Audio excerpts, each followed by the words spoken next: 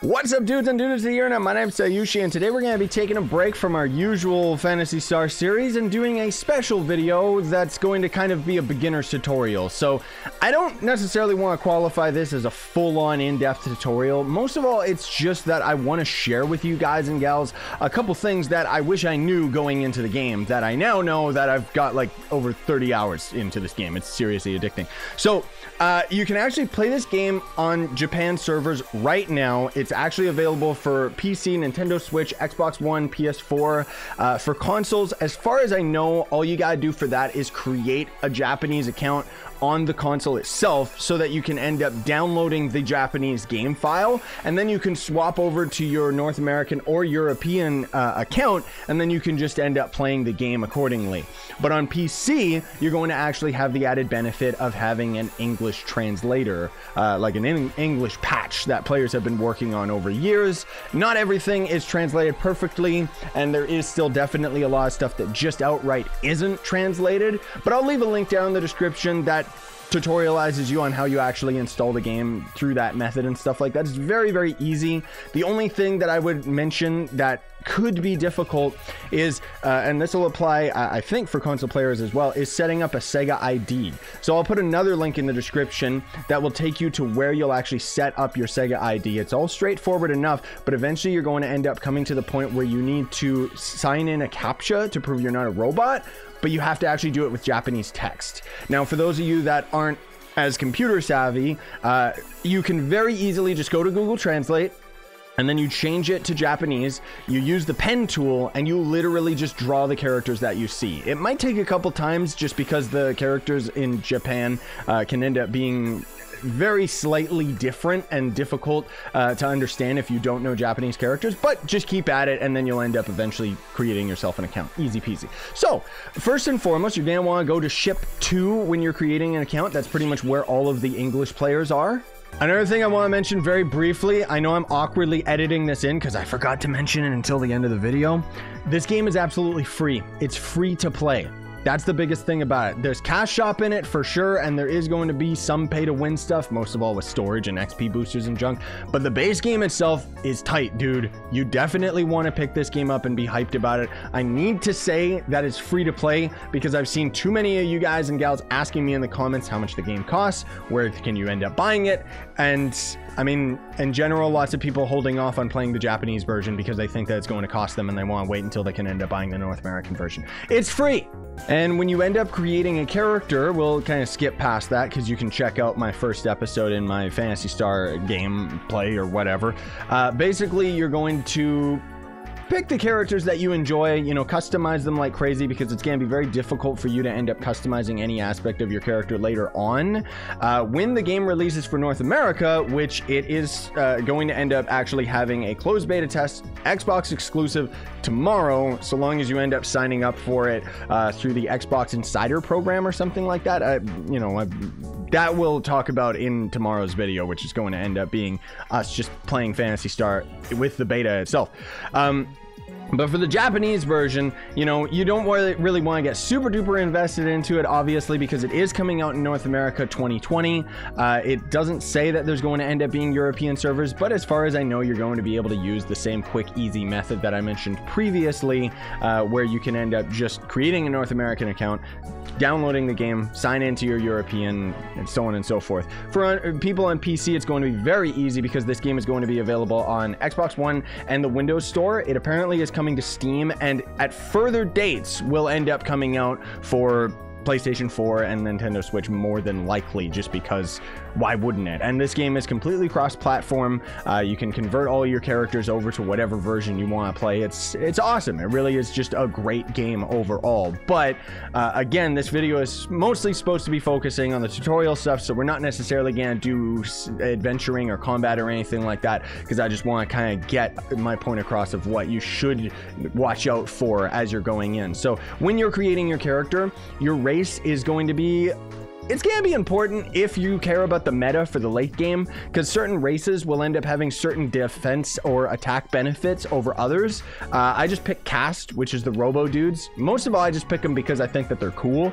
but they also have a lot of physical damage uh, as well. So uh, if I can end up looking at let me look at a weapon right here just so I can take a quick peek at the stats. Uh, so right here, you're gonna see there's HP, which is just your health points, PP, which is photon points. I, I think that's what it's called anyways. That's basically going to be your mana.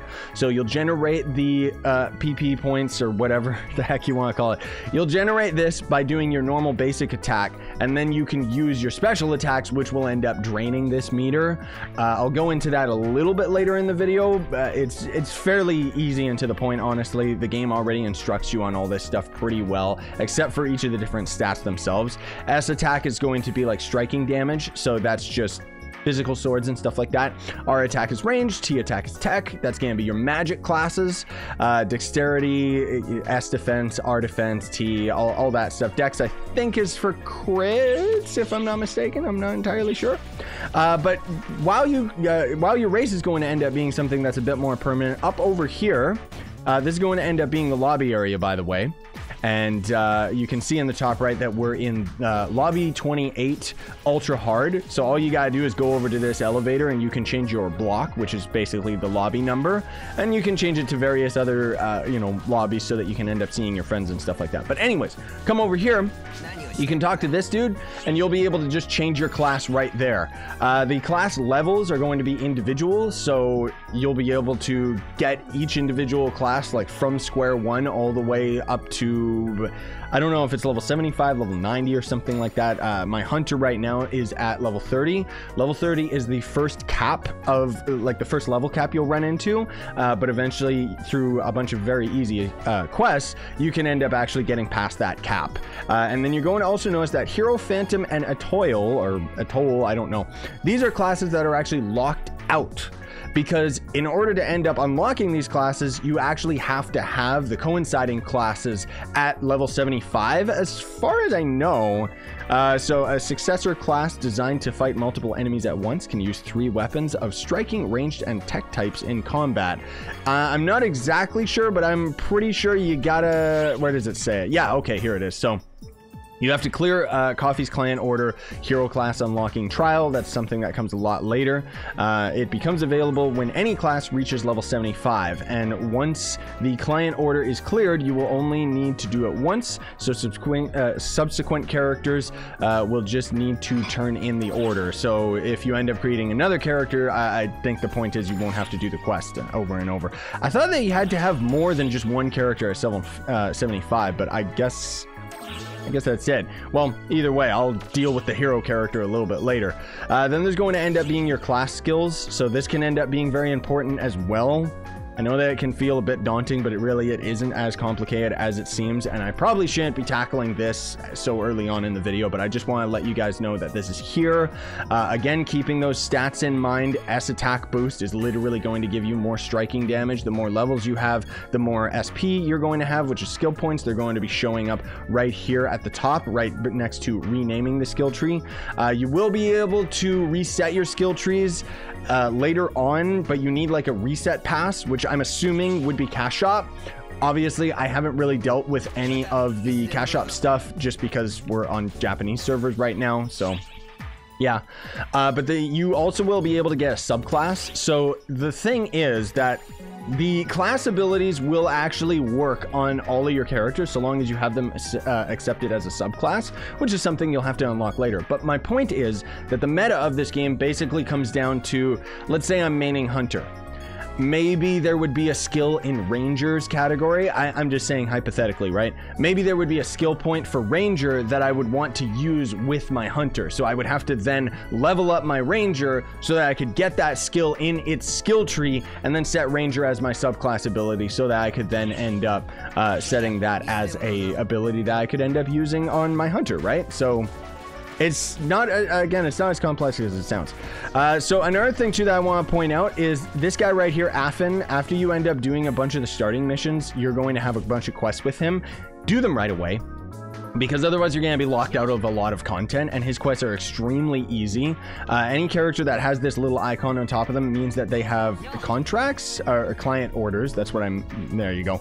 Uh, you can end up accepting 20 of them in total and as you end up completing client orders for specific npcs you'll end up building a relationship with them So the more client quests that you end up doing for them eventually is going to end up netting you a bunch of different rewards. So you can see uh, up in the top left right here that he's slowly working towards giving me a gift. Yikes. Uh, but otherwise, how do you set techniques? Uh, what skills should I use? Learn any skill, equipped uh, any rear unit, arm unit, leg unit, stuff like that. Like this guy is pretty much the tutorial character uh, that teaches you a lot of stuff that I skipped over because I was just so enveloped in the gameplay itself that I just wanted to go out adventuring, not realizing his quests were as easy as they were. Now, the other thing too is that uh, I've noticed that leveling is like almost non-existent if you're just grinding enemies. So you're going to have to run around collecting client orders, uh, and these will ultimately end up giving you lots and lots of uh, XP. So you can see even doing this one right here, let's turn it in. That gave us 20,000 XP, which was a little over a quarter uh, into our next level. Right now I'm at uh, level 30 at the moment that I'm recording this for you guys, but I've got lots of other videos already stocked up. So uh, consider this something off to the side from our Let's Play series rather than me just exploring the game and stuff like that. But my point is that that's pretty much how you're going to be getting a lot of your XP, right? Uh, so then right over here is going to end up being the camp ship. You can just run into this and very quickly choose to explore one of the different areas. Uh, as you can see, I've got pretty much every area unlocked. You're going to unlock the areas by doing different missions in those zones. So let me actually just show you right over here uh, that this Rebecca is going to end up being the character that gives you all of the main quests. Uh, and then this is Koffie. So this is the character that was mentioned over where we were changing our classes. Uh, she's pretty much the one where I think when you get to level 30, like she accesses a bunch more uh, client orders where you're going to unlock like uh, you can see like difficulty unlock, so we can get to hard mode now, uh, and then you end up learning the subclasses through her, uh, level cap increase, etc., uh, etc. right? But the thing is, I didn't know for the longest time. I probably could have unlocked hard mode like well beyond uh, being level 30 and stuff like that, right? But I couldn't talk to her because I didn't complete any of Afin's quests. So complete his quest, dude. You gotta get at least a bunch of them done so that she actually starts talking to you, because otherwise she just ignores you, and it's really annoying. So anyways, Moving on to the quest character, and we'll talk about gear and fighting and stuff like that when we actually get into a dungeon. So there's going to be main quests, story quests, uh, sub quests, and then there's also just the training zone. Uh, you can also change some of your settings for whether you want random people joining your party and junk like that. So main quests are just going to be the big bulk of the game. You can just repeat these over and over again. There's uh, sometimes there will be featured quests and bonus quests. These are special things that I just unlocked now, uh, and very rarely you'll see an emergency quest when you see an emergency quest, there's gonna be like red all over the like all over the hub and everything like that. Like it's a, it's a big event that the game wants you to know about. There's gonna be a bunch of text on the top of your screen that's gonna be notifying you of it.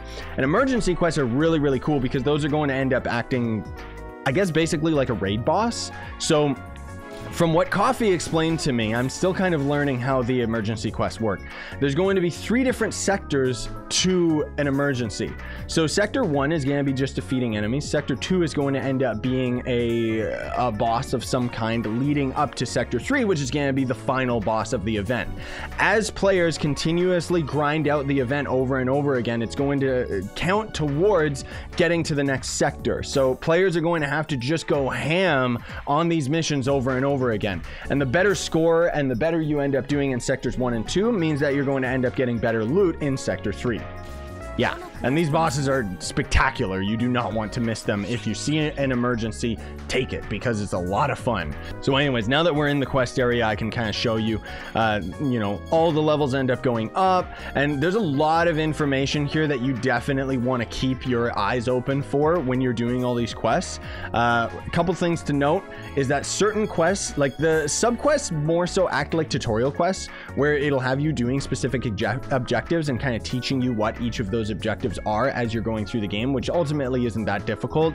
Basically, the game is go in a dungeon, kill every enemy, do any of the random side quests that end up popping up, and then beat the boss. If you just rush the boss, you're going to have a lower rating, which means that you're going to get less of a reward, which maybe will end up playing a part to play at the late game where you're probably trying to do dungeons as fast as possible. But I mean, the combat's just so tight that I just love going into areas and just losing myself for like half an hour at a time, right?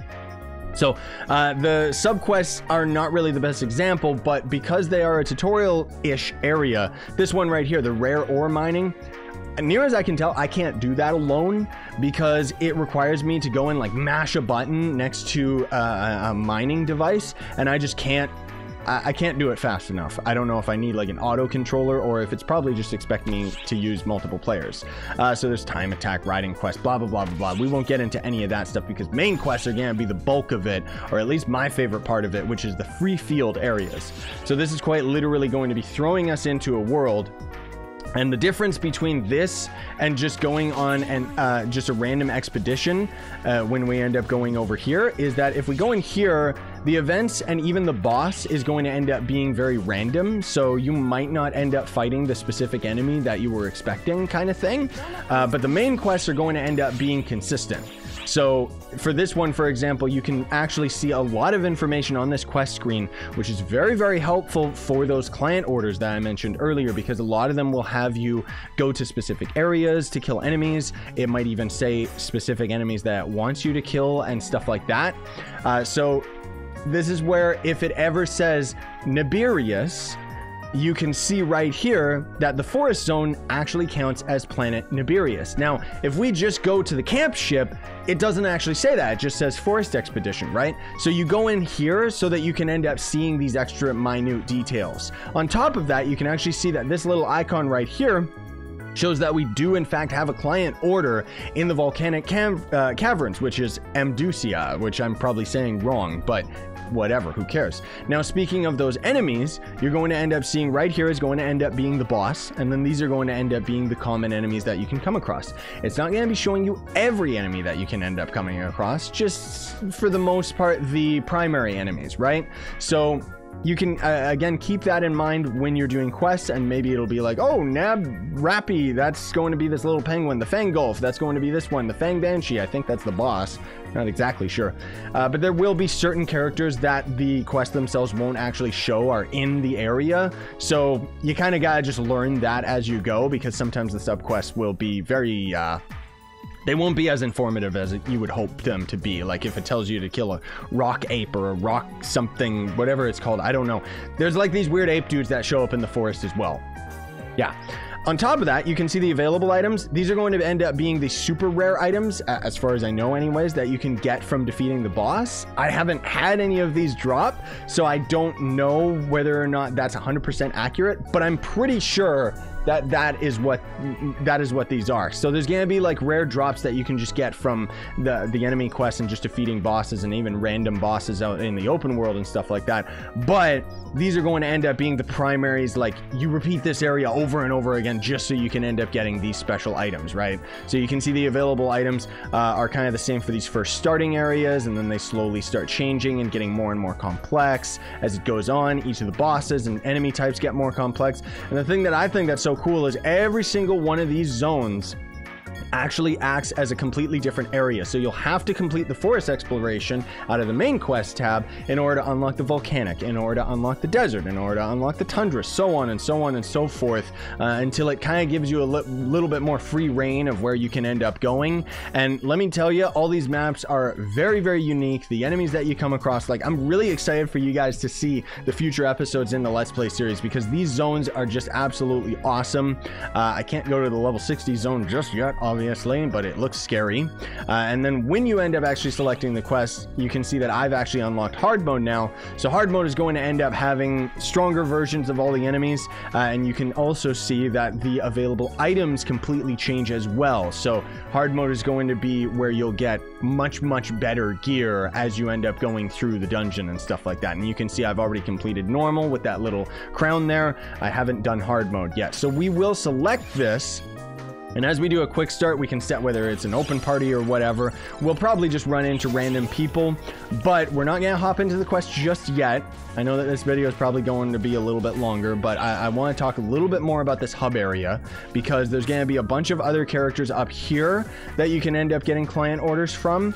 Uh, but more importantly, if you end up going into this little elevator right here, this is to take you to the shop area. And this place is extremely important for a handful of reasons. Uh, not only are there going to end up being even more characters that will be able to give you client orders as you get further in the game and complete certain quests and stuff like that, uh, but you can see right over there is the cafe. When you end up going to the cafe, I mean, it's it's just super duper confusing. It basically unlocks fishing and mining on all of the maps and you'll be gathering all these resources to cook food to cook food items which will give you temporary buffs as far as I know but there's also going to end up being rings that you can craft which are really, really complicated and weird because the rings will actually complement specific attack uh, photon arts that you'll have on your weapons, which again, we'll get into that a little bit further as we get to the, like, we'll, we'll get to the weapons and the combat and stuff like that when we end up going into the dungeons uh, themselves. Because first, I want to show you that there's going to be all these NPCs. Uh, so over here is going to be the weapon shop, the item techer. The item techer is the person where you'll actually identify your items. And this item lab right here, uh, I haven't really messed with this too, too much, so don't quote me on everything exactly, but this is the item grinder, so you're going to use this NPC literally to level up your gear. Uh, old type weapons, uh, as far as I know, there's two types of weapons. There's old type weapons and there's new type weapons. New type weapons, as far as I know, there's an NPC around here that you can get subquests from, uh, and you can end up getting a reward of actually grinding out and creating new type weapons, right? So certain weapons will end up having potential that you can unlock. You can also uh, grind OT attributes, so you would be leveling up specific attributes on weapons and stuff like that. Uh, also, you can just grind up your normal gear and items and junk like that, right? So the thing is that what you're going to do in order to level up gear is literally feed it other gear. So you can see right here that I can actually feed my sword these other items. Uh, and upon doing so, the grind value is very, very slowly going to increase. Not really any other stats have increased because I have to get this bar full before it ends up getting new stats. But you can see that we actually only have, uh, I'm assuming that this is a 10% success rate or maybe that's 10% that of it being able to fail. I'm not exactly sure because it says very successful rate for some weird reason, but you can use various items to end up increasing that percentage uh, so that it ends up being less likely to fail because if it fails, it can actually regress and can actually end up de-leveling as well. So it's definitely a really big system to get into, but not really something we need to talk about today because for the most part, you only really need to mess with it with late game weapons and uniques. There's also going to end up being the pet lab. Pets, uh, as far as I know, you can run into pets and get them as rare drops and stuff like that. But pets are going to be specific to the uh, like the summoner class. Even though you can still get pretty much everything for all classes on whatever character. Like I'm not getting hunter exclusive gear just because I'm playing on the hunter. You know what I mean? So over here is going to be the disc shop uh, attendant another item shop attendant and the discs themselves these these are going to be extremely important to the game. Uh, these photon arts as the game calls them are going to literally be your different attack moves. So you'll find these just like crazy while you're out exploring the world and stuff. Uh, and as you can see the ones that are lit up means that I can actually use them right now whereas the ones that are dark are ones that I either already have or just I can't use yet uh, because the S attack required or the stats required, you can see right here. I currently have over here. So sometimes you won't have the right stats for them, but my point is that these you're going to pretty much want to consume all of them at all times. And a lot of them are going to end up giving you various different abilities that you can associate to your weapons. But again, we'll get into that a little bit later when we go to the combat. Uh, there's a costume store and stuff like that. Uh, over there is the casino, where there's even more quests that you can end up doing, as well as just gambling, but we're not going to go in there just because I don't want this video to end up getting demonetized or taken down, just because it can happen. Uh, and then I think that's pretty much it as far as the main hub area, at least the most important things. Oh, I guess, uh, I guess I should also mention that this right here this is going to end up being kind of the events uh, station. So sometimes you'll see campaign reward receipt and you'll be able to claim items uh, and for your specific characters and junk like that. Uh, there's also going to be the player shops, gathering, crafting, and blah, blah, blah. Th this is a really important station that you're going to mess with. Same with this one right here, which is for your bank and your storage. But now that we've actually accepted the quest from Rebecca, we should be able to just go into our camp ship and just chill here. And I wish that we could just go and chill in this area at all times, but you have to have an active quest in order to end up entering here. The reason I like it is just because literally everything is just chilling here. Also, that thing that's low battery is my mag, which we'll talk about in a moment. So while you're in this area, you can actually just accept new quests right here at this station. Uh, and then there's going to end up being, what is this? The gathering terminal is not used right now. Okay, so that's something to do with the gathering, which I haven't messed with too much. Here's our storage. Here's a little sh item shop, so you can literally just buy your healing items and stuff like that. You pretty much want to have your healing items fully stocked at all times, because you can only carry 10 of each healing item at a time on your hotbar. So it pays to be prepared. You may as well just have all of them at all times. Uh, you can also buy items to put into storage, sell items from your storage. So usually what we'll do, uh, what a lot of players will do is I, I just put pretty much everything in storage because inventory management is a really big problem with this game because as far as I know, there is a cash shop equivalent to end up giving you more storage or more inventory. I don't know if that's going to be on the North American, but let's just say, for example, I put all these swords into storage just because I'm trying to get them out of my inventory so that I can end up picking up more items while I'm on my quest. And then I just kind of cycle through all of this, just, you know, slowly getting rid of more and more and more of this junk uh, as we end up getting all this gear and then I just sell it all. It's telling me some of that stuff is actually uh, red star tier. So this is going to end up being the different rarities right here. So it goes from blue to green, red star, and then there's even further than that, but it doesn't show us until way later. Uh, any gear that is going to end up having a red star or even an item that has red star is going to pop up on your screen as a rare drop. So you definitely got you gotta watch out for that. If you ever see that, you gotta scrounge around the map trying to grab it. Usually it'll end up being right beside you. There is a buyback as well. And then right over here, these are temporary items that you can use per quest. So you can use a Shifta Drink to end up raising your offensive capabilities, but it's going to cost you some money. Let's grab one. Why not? And then after that, we can just continue on. So this is going to throw us into the actual uh, zone itself. We can teleport to where more players are, or we can just go to the start point. We'll just go to where more players are because it doesn't really matter. I like usually starting uh, at the beginning just because I like going through the dungeon myself, especially because this is my first time doing hard mode. So I could potentially end up getting my butt absolutely kicked. Uh, but now we can talk about the combat itself and everything. The combat is extremely simple and to the point. This guy is very, very overpowered. It makes sense. We are in hard mode, right? Uh, but literally as you're attacking enemies, uh, well, at least as Hunter anyways. Most of the characters are going to end up operating pretty much the exact same. You might not notice it, but I'm actually timing my attacks. So as we're doing these attacks, I can literally just hold the button and my character will just keep attacking, right? I play with controller. You can play with the keyboard just as well. But as we attack, you wait a little bit, and then you see that little bubble that goes around our character. As soon as it's red, then you're going to end up doing a crit. So you definitely want to time it so that you can end up doing crit, crit, crit over and over just for maximum damage output, right? Another thing too is you notice that the little gold that was standing right here two seconds ago, I picked that up. You can actually turn that on in your options. So the option settings is going to end up being right here go in here and mess around with stuff because there is a lot of things you can customize, including the game automatically has blur on, which is disgusting. So when our character is moving, there's a motion blur to it. So you got to turn that off. You can change uh, what automatically gets picked up. So you can set it up so that your character will automatically pick up rare items, automatically pick up money, junk like that, right?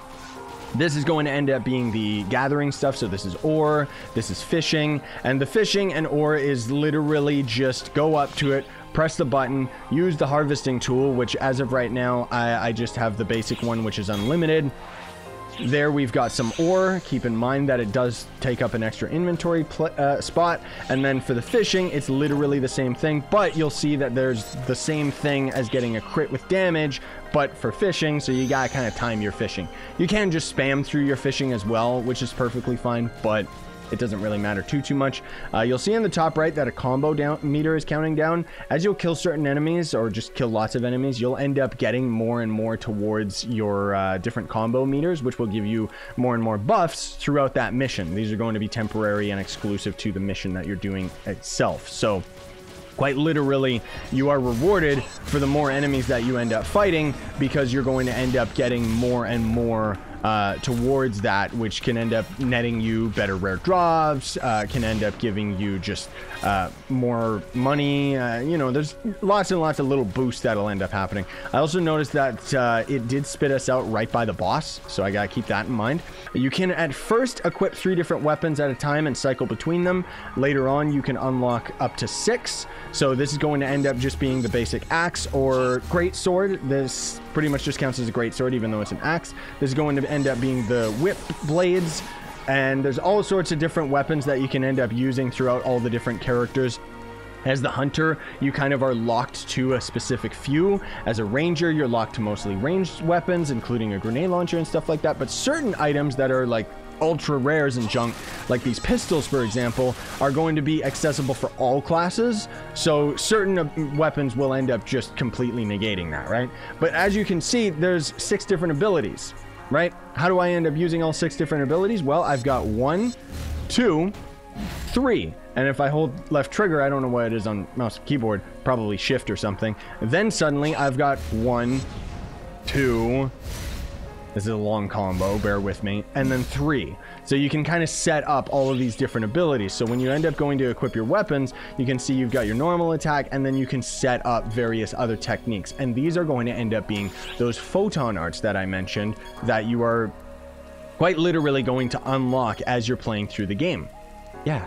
So really, really cool that it's got all this stuff. You can see for the gun, I barely like I, I don't use the gun enough, so I literally have like no photon arts for it right?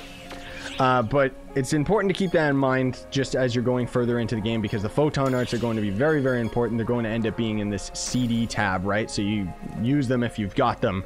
Uh, but again, as you're going out and exploring, you're going to actually want to send a lot of this stuff to storage just so that you don't have to deal with a full inventory because you can see I've got 28 out of 50 uh, for my inventory slots right now. This is just a housing item, so I can throw that in. Uh, a lot of a lot of these items will just clog up your inventory repeatedly. Like, it, you know, red meat and marbled meat just drop from enemies continuously. So pretty much never bother depositing that because otherwise you're just going to end up wasting time. There's going to be a half doll is an item that will self-res yourself, while the moon moon orb or something, I don't think I have one right now. Maybe I do. Moon atomizer, that's it. This is an item that you can literally use, and then in an AoE around you, it'll res like other players. Uh, there's also going to end up being the same uh, thing true to the item that ends up, I think it's the sol atomizer. That one actually gets rid of status effects, and again, it'll do an AoE, so it'll cure everyone's status effect around you, not just your own. Keep in mind that red for some weird reason means increased stats, while blue means lesser. I know it's weird. Later on, I think around level 30, I think you have to be level 30, you'll end up getting access to the mag. So the mag, as you can see, is actually at 0%. As we're feeding this thing, it's going to end up gaining different stat boosts, but on top of it, it's going to end up leveling up further and further along. So we can give it weapons uh, and other various items just as we're out and about. So I can give it uh, Monomate so that ends up giving it more striking damage and striking defense. But considering I'm a hunter and I don't really have that good defense, I might want to end up leveling up a different stat. But now that it's at 99%, I can't feed it anymore. And they'll end up giving you different abilities further on. Like sometimes they can heal you, uh, sometimes they'll just cause damage to enemies. It all depends on how you level it up. I don't know too, too much about it just because I haven't really messed with it too much and I'm not too concerned about it because I think you can end up buying it off of other characters. I'm not exactly sure. Uh, but anyways, this is going to be for the boss room. So there's always going to be a heal station right here. And then there's going to end up being the teleporter. If you ever are not confident in a quest, uh, you can always end up using, where is it? telepipe that's it so you can plop one of these down and then you can just warp back to the camp ship and then you can just cancel the quest uh, certain quests will actually like even though you're playing uh, single player or with random people, it depends. Uh, you will actually be able to just resurrect by going back to the camp ship, and then you're going to have to fight your way back to your other location. But all the quest objectives that you completed up to that point, like there doesn't seem to be any penalty for death outside of certain quests if you die, that's it. It's just game over, especially in emergency quests. Let's just go for it just because there's not really that much to it. Certain abilities, I guess I should mention, will actually be chargeable. So this spin, for example, I can actually charge it. and it'll end up doing more damage. If you do enough damage to a certain weak point on a boss or on a specific enemy, uh, you can end up knocking them down or whatever. Uh, that ability right there, you saw me get off of the ground really quick. You got to time that perfectly, uh, but it is an ability that you will be able to get, I think, with every character. And the other big thing that you see me keep doing with this guy is the quick dodge. So there's going to be a block for the hunter's abilities as well, uh, but I don't really use it just because I love that quick step. You can actually level up the uh, invulnerability frames while you're using that, and you can use that to literally step through a lot of the different attacks that bosses and enemies are going to end up doing and stuff. I just like using it to end up covering ground, uh, and you can see we actually did that relatively unscathed, like geez Louise. Careful, because when the boss falls over, he can actually damage you. so this is going to end up being a boss orb, or crystal, or whatever. This is really important because as you get further and further in the game, that boss that we just fought, it can just randomly spawn out in the world while you're just doing a normal dungeon. Which is the thing that is so hype about this game because sometimes there'll just be like so much flying at you. You know, you can have literal bosses from different dungeons show up in other areas and end up causing trouble for you. It's really, really cool and really gratifying. And then you shatter this, and then there's all the drops. There's a rare drop example as well. Perfect. I'm so glad that we actually got that on camera. Uh, so these are going to just be a bunch of normal items. Uh, purple is armor, the yellow is going to be weapons. You can see right here we actually have some candy, which is related to feeding pets. And then right here, this is going to be special weapon, question mark, because this one is actually unidentified. Uh, it does show a little sword icon, so I'm wondering whether or not that is uh, just showing that it's a weapon, period, or showing that it's a weapon for our character, because that's the thing that can end up being quite disappointing, is... um you because you can get drops for all the era classes you might not necessarily get a weapon that's any good for you but that was my first hard weapon drop so that's cool. Uh, as you saw when we completed the quest we only got an a rank. That's because i literally skipped to the end without doing many of the side objectives. Uh, and then sometimes you'll want to go to arc missions over here and you receive all rewards. So this is literally going to be related to a lot of the daily quests that you'll just happen to be completing while you're fighting enemies and stuff like that because dailies are literally just going to pop up as passive quests that you can see from this menu right here. Like you can see that we've actually got daily missions. So complete a daily order, generate a gathering fever, play a game in the casino, complete all daily missions. You'll get various items and various benefits from doing all of that. Uh, but most of all, you get like a crap ton of XP, as you can see. We're getting like 30,000 and stuff like that. It's just really, really good. But Let's leave on a high note. Let's go and identify this sword and see if it's actually something for my class, let alone I hope that it's actually better than this axe. So if we go to identify item, yeah, it actually is a great sword. Wow. So while we were in the dungeon, uh, you actually saw that this little great sword icon was beside it, which means that this is in fact going to end up being a great sword. It's a nice way that you can get a sneak peek of what the weapon is going to be and what class it's going to be is based on the little tiny icons, and you'll learn those a little bit further later. Uh, but anyways, you can end up having desired attributes as well, which is really cool. So let's take... Uh, Let's take lights just because it's cool. I don't know. And then we'll take lucky rise, which will end up giving us uh, better rare drops because Meseta Fever is just more money. A sword based on older technology, sharp enough to slash enemies apart. And it's got a lot of attack. Oh my goodness gracious. That is absolutely awesome. I think I actually just found a better weapon because the thing is, like I said, this axe counts as a sword, right? So if I equip this, I can literally use all of the same abilities that I had with the axe. Uh, well, you know, I can use all the photon arts, is what I'm saying. That's actually really, really dope. It actually looks cool too. It's not just a generic energy sword, it's just a sword from like Final Fantasy or something. On top of all of that, guys, this game is free. That's the craziest thing about this game, okay? Going into it, you gotta know this is a free to play game. That's why it's got all the cash shop stuff. And for a free game, this is probably one of the best free to play games I've ever played. I played it a long, long time ago, but obviously when I first started playing this game, there wasn't much of an English translation. And if you're going into this game and you're just playing on console, obviously everything's in Japanese, which can end up being extremely confusing. And that's why I played it for a while and then I stopped.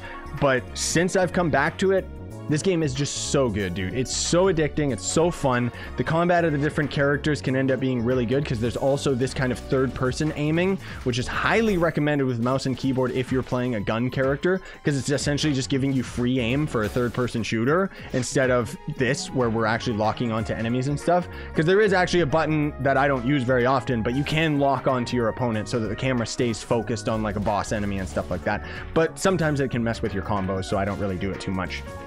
Anyways, I hope I covered everything. If I didn't, be sure to leave it in the comments to let everybody know what's up. Uh, I think I covered pretty much everything. And again, this game is going to be coming to North America, so if you want to wait, you can. That said, I'm just loving this game right now. I don't care if I'm going to end up losing this character and all of my progress when it goes to the North American servers because the way I see it, not only am I gaining a lot of experience so that I can get through the North American servers a lot faster and understand how the game actually plays, but as I get more experience with it, I want to see the differences. I want to see how different the North American version is going to be from the Japanese version most of all, I'm hoping that we have a couple different uh, graphical updates and then some stuff to kind of declutter the uh, uh, some stuff to declutter the HUD because it can end up being a bit daunting at times. I mean, hell, it's really, really daunting even to me with all the experience that I have with this game, with all of the different NPCs and stuff like that. But anyways, now I'm rambling. Thanks for watching. Smash like, sub for more, buy the merch you want to support the channel. Otherwise, have yourselves a great day and be excited for this game because it's free and it is coming, okay? It's coming 2020, so... Oh, I just love this game. Sign on and stay up, at gamers.